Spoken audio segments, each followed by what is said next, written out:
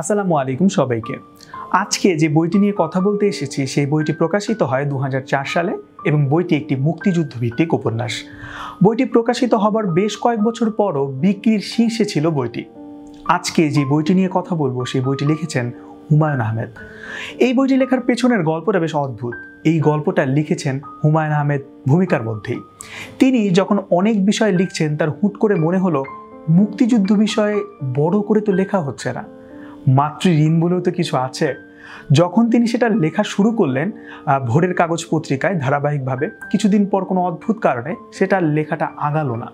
অনেক কিছু করেন, নাটক বানান ইভেন সিনেমা বানান, কিন্তু লেখা হয় না জোৎস্না ও জননীর গল্প। আজকে যে বইটি নিয়ে কথা বলছি, সেটি সেই উপন্যাস জোৎস্না ও জননীর গল্প। হুমায়ুন আহমেদ ওপেন হার্ট সার্জারির জন্য যখন সিঙ্গাপুরের মাউন্ট এলিজাবেথ হসপিটালে বসে আছেন তখন তার মনে হয় যে উপন্যাসটা লেখা উচিত, হাতে সময় কম। তখন তিনি অসুস্থ সময়ে অসুস্থ শরীর নিয়ে যে লেখা শুরু করা, সেভাবেই শেষ করেন জোৎস্না ও জননীর গল্প নামে বিরাট কলেবরের এই উপন্যাস।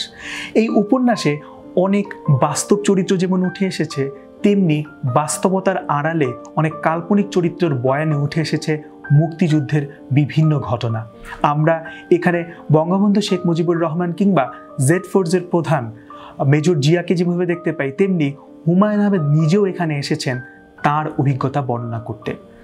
জোছনা ও জননীর গল্প এত বছর পরেও মুক্তিযুদ্ধভিত্তিক উপন্যাসের শীর্ষে অবস্থান করছে। এই বইটি পড়তে চাইলে রকমের ডট কমে খোঁজ করতে পারেন কিংবা ফোন করতে পারেন one six two nine seven নাম্বারে। মুক্তিযুদ্ধভিত্তিক উপন্যাসটি হয়তো নতুন করে আপনাকে মুক্তিযুদ্ধ সম্পর্কে ভাবিয়ে তুলবে।